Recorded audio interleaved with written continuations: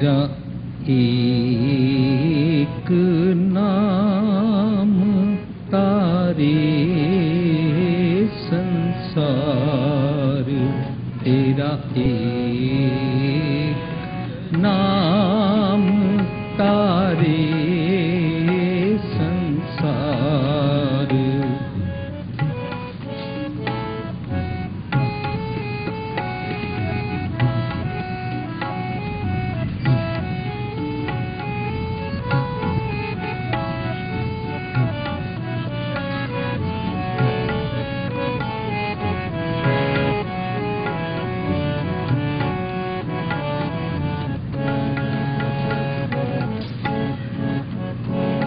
ਤੇਰਾ ਇੱਕ ਸੰਸਾਰ ਤੇਰਾ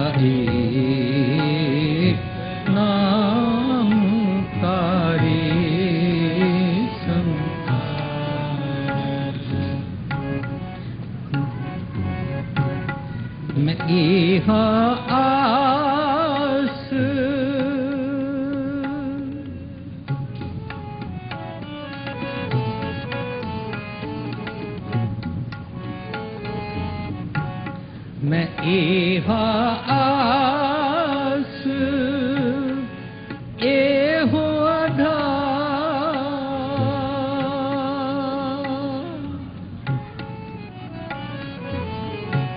ਮੈਂ ਇਹਾ ਆਸ ਇਹੋ ਅਧਾ ਮੈਂ ਇਹਾ ਆਸ ਇਹੋ ਰਹੀਮ ਤੈਨੂੰ ਪਤਾ ਹੀ ਨਹੀਂ ਲੱਗਦਾ ਕਿ ਜਦੋਂ ਤੂੰ ਬੇਚੈਨ ਹੁੰਦਾ, ਤੇਰਾ ਐਡਮਿਨ ਲੈਵਲ ਅਪ ਹੋ ਜਾਂਦਾ। ਤੂੰ ਹਾਈਪਰਟੈਂਸਿਵ ਹੋ ਜਾਂਦਾ ਹੈ। ਤੇਰੀ ਹਾਰਟ ਬੀਟ ਬਦਲ ਜਾਂਦੀ ਹੈ। ਤੂੰ ਦੁਖੀ ਦੁਖੀ ਹੋ ਜਾਂਦਾ ਇਸ ਨਾਲੋਂ ਨਰਕੀ ਜੀਵਨ ਕੀ ਹੋਏਗਾ? ਆਪਣੇ ਆਪ ਨੂੰ ਸਵਰਗੀ ਜੀਵਨ ਵਾਲਾ ਬਣਾ। ਹੁਣ ਗੁਰੂ ਪਾਤਸ਼ਾਹ ਕਹਿੰਦੇ ਨੇ, ਮੈਂ ਇਹ ਇਹਨਾਂ ਕੁੱਤਿਆਂ ਦੇ ਨਾਲ ਰਹਿੰਦਾ, ਪਰ ਨਿੰਦਾ ਕਰਦਾ ਰਹਿੰਦਾ, ਕੂੜ ਦਾ ਛੁਰਾ ਮੇਰੇ ਨਾਲ ਹੈ, ਰੂਪ ਮੇਰਾ ਵਿਗੜ ਗਿਆ। ਦੂਜੇ ਪਦੇ 'ਚ ਕਹਿੰਦੇ ਨੇ, ਮੁਖ ਨਿੰਦਾ, ਆਖਾਂ ਦਿਨ ਰਾਤ। ਮੈਂ ਦਿਨ ਰਾਤ ਬਿਆਲ ਹੈ ਨਾ, ਵਿਆਕੁਲ ਹੈ ਨਾ, ਹਰ ਵੇਲੇ ਹੈ ਨਾ, ਹਰ ਵੇਲੇ ਮੈਂ ਮੁਖ ਨਿੰਦਾ ਕਰਦਾ ਰਹਿੰਦਾ। ਸਾਸਨ ਜੀ, ਮੁਖ ਨਿੰਦਾ ਦਾ ਮਤਲਬ ਸਿਰਫ ਕਿਸੇ ਨੂੰ ਨਹੀਂ ਕਹਿੰਦੇ ਨੇ ਕਿ ਕਿਸੇ ਦੇ ਬਾਰੇ ਭੈੜੀਆਂ ਗੱਲਾਂ ਕਰੀ ਜਾਣਾ। ਜੇ ਅਸੀਂ ਕਿਸੇ ਦੇ ਬਾਰੇ ਫਾਲਤੂ ਦੀ ਦੋ ਦੂਨਾ ਪੰਜ ਗੱਲਾਂ ਕਰੀ ਜਾਂਦੇ ਆ ਨਾ, ਉਹ ਜਿਹੜੀ ਫਾਲਤੂ ਦੀ ਉਸਤਤ ਹੈ ਨਾ that is also counted in ਨਿੰਦਾ ਦੋ ਦੂਣਾ ਪੰਜ ਕਰੀ ਜਾਣਾ ਕਿਸੇ ਦੇ ਬਾਰੇ, ਵਧਾ ਚੜਾ ਕੇ ਗੱਲਾਂ ਕਰੀ ਜਾਣਾ ਕਰੀ ਜਾਣਾ ਕਰੀ ਜਾਣਾ। ਤੇ ਦੋ ਦੂਣਾ ਤਿੰਨ ਕਹੀ ਜਾਣਾ ਚਾਰ ਦੇ ਬਦਲੇ ਨਿੰਦਾ ਸੋ ਤਿੰਨ ਕਹਿਣਾ ਜਾਂ ਪੰਜ ਕਹਿਣਾ ਮੀਨਸ ਸੱਚ ਤੋਂ ਇਲਾਵਾ ਕੁਝ ਵੀ ਵਧਾ ਚੜਾ ਕੇ ਕਹਿਣਾ, ਇਹ ਫਾਲਤੂ ਦੀ ਉਸਤਤ ਤੇ ਨਿੰਦਾ ਇਹ ਸਾਰੀ ਗੇਮ ਮੈਂ ਦਿਨ ਰਾਤ ਕਰਦਾ ਰਹਿੰਦਾ। ਤੁਸੀਂ ਕਦੇ ਦੇਖਣਾ ਲੋਕਾਂ ਨੇ, ਜਿਸ ਕਲੋਨੀ ਵਿੱਚ ਰਹਿਣਾ ਹੋਵੇ, ਉਸ ਕਲੋਨੀ ਵਿੱਚ ਜੇ ਮਕਾਨ ਨਹੀਂ ਮਿਲਿਆ, ਉਹ ਕਲੋਨੀ ਭੈੜੀ ਹੈ, ਉੱਥੇ ਪ੍ਰਾਪਰਟੀ ਵੈਲਿਊ ਕੋਈ ਨਹੀਂ ਰਹਿਣੀ। ਪਰ ਜਿਸ ਕਲੋਨੀ ਮਕਾਨ ਮਿਲ ਗਿਆ, ਇੱਥੇ ਦੇਖਣਾ ਉਹਨੇ ਭਾਅ ਵੱਧ ਜਾਣਗੇ, ਇੱਥੇ ਬੜਾ ਇਹ ਹੈ, ਇੱਥੇ ਉਹ ਹੈ। ਜਿਹੜੀ ਕਾਰ ਲਈ ਹੈ, ਇਹ ਕਾਰ ਬੜੀ ਵਧੀਆ ਹੁੰਦੀ ਹੈ ਕੰਪਨੀ ਨੇ ਇਹ ਕਰ ਦਿੱਤਾ, ਉਹ ਕਰਤਾ। ਮਤਲਬ ਤੁਸੀਂ ਦੇਖਣਾ, ਜਿਸ ਇਨਸਾਨ ਨੇ ਤਾਰੀਫ ਕਰਨੀ, ਉਹਦੇ ਤਾਰੀਫ ਦੇ ਪੁੱਲ ਬੰਨੀ ਜਾਣਗੇ। ਬੈਂਗਣ ਦੀ ਤਾਰੀਫ ਕਰਨੀ ਹੋਏ, ਬੜਾ ਸੁੰਦਰ ਹੈ, ਰੰਗ ਦੇਖੋ ਕਿੰਨਾ ਸੋਹਣਾ, ਉੱਪਰ ਮੁਕਟ ਲਾਇਆ ਹੋਇਆ, ਹਰਾ ਬਣਿਆ ਹੋਇਆ ਦਿਸ ਐਂਡ ਦੈਟ ਪਰ ਬੈਂਗਣ ਦੀ ਨਿੰਦਾ ਕਰਨੀ, ਬੈ ਗੁਣ ਹੈ, ਇਹਦੇ ਵਿੱਚ ਗੁਣ ਕੋਈ ਨਹੀਂ ਹੈ, ਕੀ ਭੈੜਾ ਜਿਹਾ ਰੰਗ ਹੈ, ਸਬਜ਼ੀ ਵੀ ਸਵਾਦ ਨਹੀਂ ਆਉਂਦੀ ਆਗੂ ਤੇ ਰੱਖੋ, ਸੜ ਜਾਂਦਾ ਮੀਨਸ ਮਨੁੱਖ ਇਹਨਾਂ ਗੱਲਾਂ 'ਚ ਹਮੇਸ਼ਾ ਪਿਆ ਰਹਿੰਦਾ ਦੁਨਿਆਵੀ ਗੱਲਾਂ ਦੇ ਵਿੱਚ ਮੈਂ ਦਿਨ ਰਾਤ ਪਿਆ ਰਹਿੰਦਾ, ਮੁੱਖ ਨਿੰਦਾ ਆਖਾਂ ਦਿਨ ਰਾਤ। ਆਖਾਂ ਦਾ ਮੈਨਾ ਸਿਰਫ ਕਹਿਣਾ ਹੀ ਨਹੀਂ ਹੁੰਦਾ ਆਖਾਂ ਦਾ ਮੈਨਾ ਗਾਣਾ ਵੀ ਹੁੰਦਾ ਆਖਾਂ ਦਾ ਮੈਨਾ ਦਿਨ ਰਾਤ ਗੁੰਗੁਣਾਣਾ ਵੀ ਹੁੰਦਾ ਹੈ। ਮੈਂ ਦਿਨ ਰਾਤ ਇਹਨਾਂ ਗੱਲਾਂ 'ਚ ਕਿਹਾ ਰਹਿੰਦਾ। ਪਰ ਘਰ ਜੋ ਹੀ ਨੀਚ ਸਨਾਤ, ਹੁਣ ਮੈਂ ਪਰ ਘਰ ਜੋ ਹੀ ਨੀਚ ਸਨਾਤ ਕੀ ਹੁੰਦਾ ਹੈ? ਨੀਚ ਸਨਾਤ ਸਾਨੂੰ ਉਸ ਸ਼ਬਦ ਤੋਂ ਲੱਭਿਆ ਜਿੱਥੇ ਗੁਰੂ ਸਾਹਿਬ ਕਹਿੰਦੇ ਨੇ, ਕੂੜ ਚੂਹੜਾ। ਸਨਾਤ ਹੁੰਦਾ ਹੈ ਆਪਣੇ ਅਸਲੇ ਤੋਂ ਨੀਵੀਂ ਜ਼ਾਤ ਵਾਲਾ। ਨੀਵੇਂ ਅਸਲੇ ਵਾਲਾ, ਨੀਵੇਂ ਕਰੈਕਟਰ ਵਾਲਾ, ਬੰਦੇ ਭੈੜੇ ਕਰੈਕਟਰ ਵਾਲਾ, ਨੀਚ ਸਨਾਤ ਕੌਣ ਹੈ ਸਾਧ ਸੰਗਤ ਜੀ ਨੀਚ ਸਨਾਤ ਗੁਰੂ ਸਾਹਿਬ ਕਹਿੰਦੇ ਨੇ, ਜੋ ਪਰਾਈਆਂ, ਪਰਾਏ ਲੋਕਾਂ ਦੀਆਂ ਗੱਲਾਂ ਕਰਦਾ ਰਹਿੰਦਾ ਹੈ। ਅਦਰ ਦੈਨ ਹਿਮਸੈਲਫ ਜਦੋਂ ਮਾਪਿਓ ਆਪਣੇ ਬਾਰੇ ਧਿਆਨ ਨਾ ਕਰਨ ਔਰ ਕਹਿਣ, ਐਸਾ ਕੋਈ ਫਰਿਸ਼ਤਾ ਆਵੇ, ਐਸਾ ਕੋਈ ਪ੍ਰਚਾਰ ਹੋਵੇ, ਬੱਚੇ ਸਿੱਧੇ ਰਾਹ ਪੈ ਜਾਣ। ਅਸੀਂ ਭਾਵੇਂ ਸ਼ਰਾਬਾਂ ਪੀਂਦੇ ਰਹੀਏ ਅਸੀਂ ਭਾਵੇਂ ਬੱਚਿਆਂ ਦੀ ਦਸਤਾਰਬੰਦੀ ਵੇਲੇ ਅਖੰਡ ਪਾਠ ਰਖਾ ਕੇ ਸ਼ਾਮੀ ਸ਼ਰਾਬਾਂ ਦੀਆਂ ਪਾਰਟੀਆਂ ਕਰਦੇ ਰਹੀਏ, ਬੱਚਿਆਂ ਨੂੰ ਕੋਈ ਸਿੱਧੇ ਰਾਹ ਪਾ ਜਾਏ। ਉਹਦਾ ਮਤਲਬ ਕੀ ਹੋ ਗਿਆ? ਆਪਣੇ ਘਰ ਦਾ ਪਤਾ ਨਹੀਂ ਹੈ, ਪਰ ਘਰ ਚਲੇ ਗਏ। ਜੇ ਕੋਈ ਐਸਾ ਪ੍ਰਚਾਰ ਕਰੋ, ਬੱਚੇ ਸਿੱਧੇ ਹੋ ਜਾਣ। ਅਸੀਂ ਤੇ ਭਾਵੇਂ ਦਾਜ ਲੈਂਦੇ ਰਹੀਏ, ਅਸੀਂ ਤੇ ਭਾਵੇਂ ਜ਼ਾਤ ਬਰਾਦਰੀ ਅੰਦਰ ਦੁਨੀਆ ਦੇ ਸਾਰੇ ਪਖੰਡ ਕਰਦੇ ਰਹੀਏ, ਪਰ ਬੱਚੇ ਸਿੱਧੇ ਰਸਤੇ ਪੈ ਜਾਣ। ਇਹਨੂੰ ਪਰ ਘਰ ਬੈਠਣਾ ਕਹਿੰਦੇ ਤੇ ਆਪਣੇ ਘਰ ਤੋਂ ਇਲਾਵਾ ਦੂਜਿਆਂ ਦੇ ਘਰਾਂ ਦੀਆਂ ਗੱਲਾਂ ਕਰਨੀਆਂ, ਦੂਜੇ ਮਨੁੱਖਾਂ ਦੀਆਂ ਗੱਲਾਂ ਕਰਨੀਆਂ ਪਰ ਘਰ ਪਰ ਘਰ ਜੋ ਹੀ, ਨੀਚ ਸਨਾਤ, ਮੈਂ ਦੂਜਿਆਂ ਦੇ ਘਰਾਂ 'ਚ ਬੈਠਾ ਰਹਿਣਾ ਆਪਣਾ ਘਰ ਛੋੜ ਕੇ ਦੂਜਿਆਂ ਤੇ ਬੂਹੇ ਤੇ ਬੈਠੇ ਰਹਿਣਾ means once you start talking about others ਦੂਜਿਆਂ ਦੇ ਬੂਹੇ ਤੇ ਜਾ ਕੇ ਬੈਠ ਗਏ।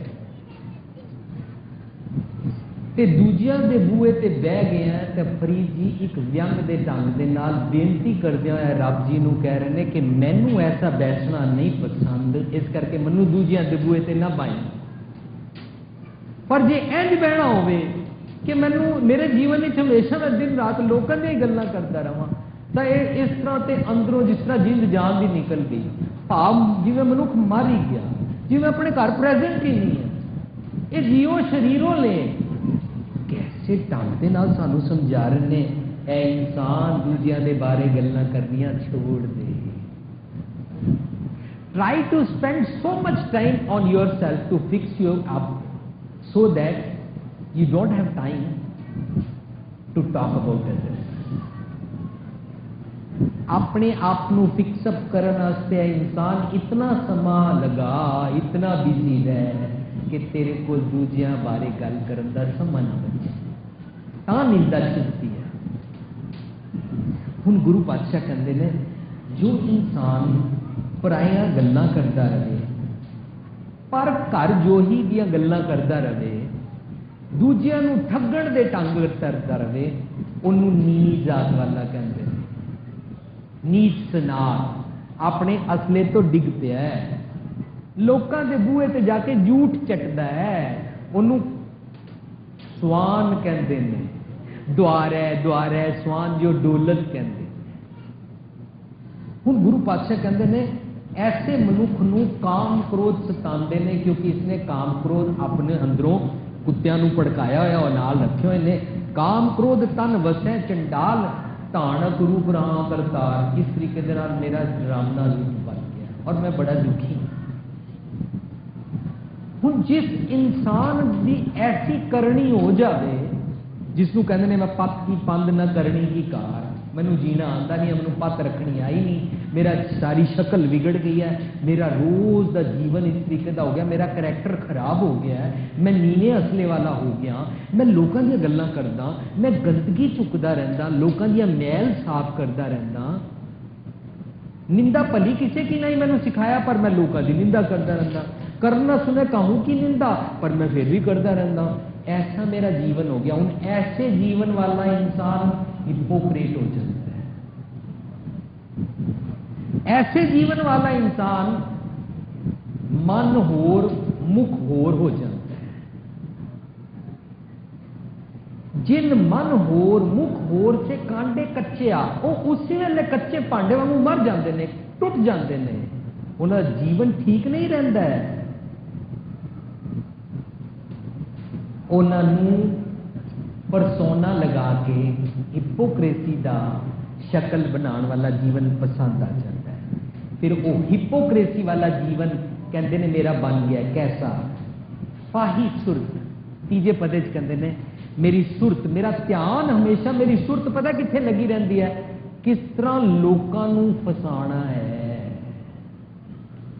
ਜਦੋਂ ਸਾਡੇ ਘਰਾਂ ਦੇ ਵਿੱਚ ਕੋਈ ਇਨਸਾਨ ਆਂਦਾ ਹੈ ਜਾਂ ਅਸੀਂ ਕਿਸੇ ਇਨਸਾਨ ਦੇ ਨਾਲ ਦੋਸਤੀ, ਰਿਸ਼ਤੇਦਾਰੀ, ਵਿਆਹ, ਸ਼ਾਦੀ ਗੰਢਦੇ ਆ ਨਾ, ਜਦੋਂ ਸਾਡੇ ਨਾਲ ਵਰਤਦਾ ਹੈ ਨਾ ਜਾਂ ਰਾਹ ਪਿਆ ਜਾਣੀ ਹੈ ਜਾਂ ਵਾਹ ਪਿਆ ਜਾਣੀ ਹੈ, ਉਸ ਵੇਲੇ ਪਤਾ ਲੱਗਦਾ ਹਾਏ, ਇਹਨਾਂ ਨੇ ਤਾਂ ਕਿਹਾ ਸੀ, ਅਸੀਂ ਤੇ ਗੁਰਦੁਆਰੇ ਜਾਂਦੇ ਹਾਂ, ਅਸੀਂ ਤੇ ਸੋਚਿਆ ਇਹਨਾਂ ਨੇ ਅੰਮ੍ਰਿਤ ਛਕਿਆ ਹੈ, ਲੋਕੀ ਬੜੀਆਂ ਗੱਲਾਂ ਕਰਦੇ ਨੇ ਜੀ, ਫਲਾਣੇ ਨੇ ਇਹ ਕਿਹਾ ਸੀ, ਅਸੀਂ ਤੇ ਉਹਨਾਂ ਨੂੰ ਦੇਖਿਆ ਸੀ, ਇਹ ਕਰਦੇ ਸੀ, ਪਾਠ ਕਰਦੇ ਸੀ, ਪਰ ਇਹਨਾਂ ਨੇ ਰਿਸ਼ਤੇ ਤੋਂ ਬਾਅਦ ਸਾਡੇ ਕੋਲੋਂ ਦਾਜ ਮੰਗਿਆ, ਇਹਨਾਂ ਨੇ ਸਾਡੇ ਕੋਲ ਇਹ ਮੰਗਿਆ, ਪਤਾ ਲੱਗਾ, ਫਾਈ ਸੁਰਤ ਸੀ ਨਾ ਉਹ।